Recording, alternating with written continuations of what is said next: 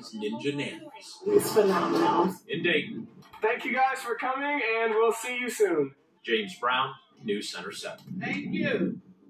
Now he is graduating from CJ this month and will head to the University of Cincinnati in the fall. But he promises the Ninja Nannies will be back to check on them. If you know anyone making a difference, make sure you send James more information on Facebook or you can email him at james.brown at whiotv.com. And now, your Storm Center 7 forecast with Chief Meteorologist McCall Vrydaghs.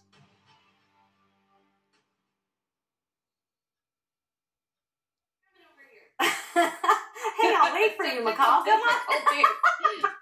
Live television. Oh, that's okay. Well, I mean, hey, the, hey, well, Hey, hello. here I am. Hello. Yeah, no, well, she was over there. There was wasn't a stool. You had to carry it over. Know. She was walking, and she's got these great heels on, so it takes a little Can time. only go so fast. Hey, in you made it. Yeah. yeah. Well, you know, and you know what else made it? What? The sun and the warm temperatures coming.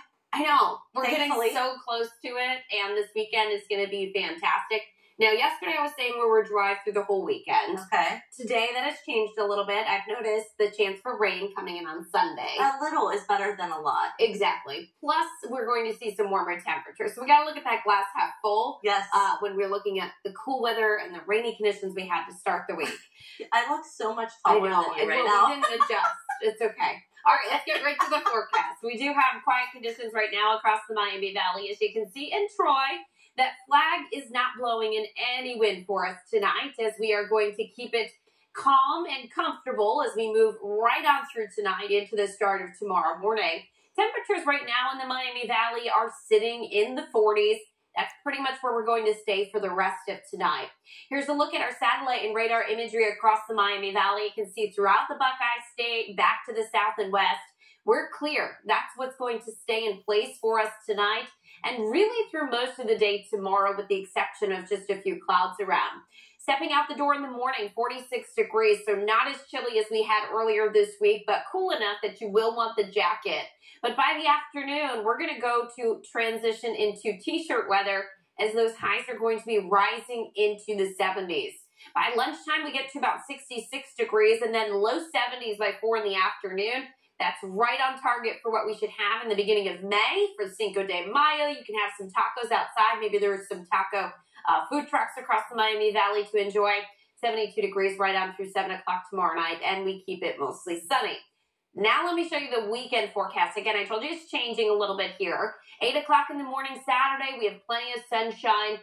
Clouds will start to fill in as we head into the afternoon and evening, but we're dry, so Saturday plans are going to be great. If you have any derby parties, outside barbecues, great forecast for you there.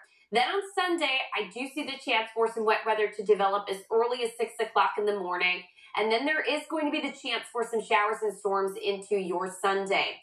This is just one model trend where it showed that quick moving shower and thunderstorm line in the morning through midday. I've seen others that show the chance for those showers and storms waiting until the afternoon.